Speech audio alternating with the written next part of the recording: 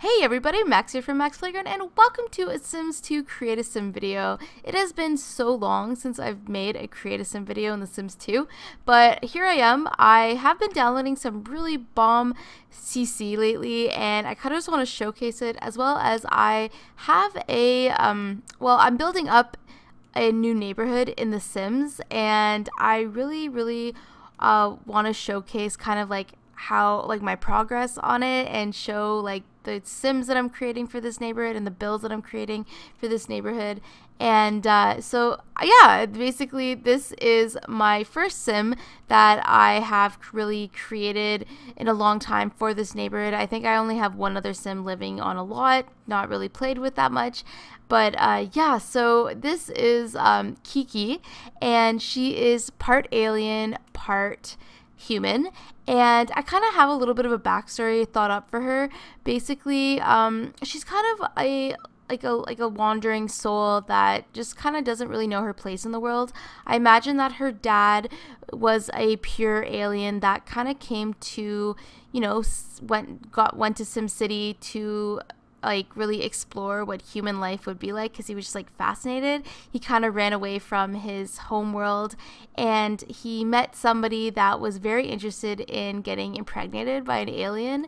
And that might sound kind of weird, but if you play The Sims 2, you know that male Sims can be impregnated by uh, aliens. So uh, it's kind of funny if you if you didn't know that. That's totally a thing. And uh, yeah, so I basically I imagine that this uh, that this is kind of like a like a the result of that happening.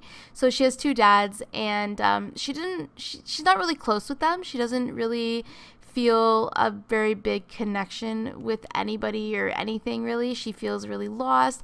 Um, so she found herself kind of just wandering through the, her life, kind of just not sure what she wanted to do, where she wanted to go, and she found herself where she's living now. Um, you know, maybe one day she imagines that she can go back to her, like where she, her, her dad, one of her dads is from, and explore that. Maybe that's something she wants to do. Maybe she wants to get, um, you know, abducted by aliens herself, and uh, yeah, so she's she's really, really just kind of a lost soul, and I made her really grungy, kind of punkish style aesthetic and I really like that. I was able to do that with her. Um, I think it really suits her. I had a lot of fun with this, though, you guys. I'm really excited to um, be bringing Sims 2 Create a Sim videos back. I posted in some uh, Facebook groups, and uh, I got a pretty good response. People saying that they'd love to see different uh, kinds of Sims. So I, that's what made me really uh, want to move forward with doing this um, these kind of videos for my Create a Sim videos to keep like up dating my um, my neighborhood, my neighborhood that I'm doing, and I have a build coming out this week for it. Can you guys believe it? Two videos, possibly three videos in one week. That is a oddity lately, um, but I am inspired, and I was also I also had a lot of fun making the thumbnail for this uh, this specific sim. I don't. I've been trying a couple of new things in Photoshop, not Photoshop, sorry, in GIMP, but today tonight I got to mess around in Photoshop and I had so much fun.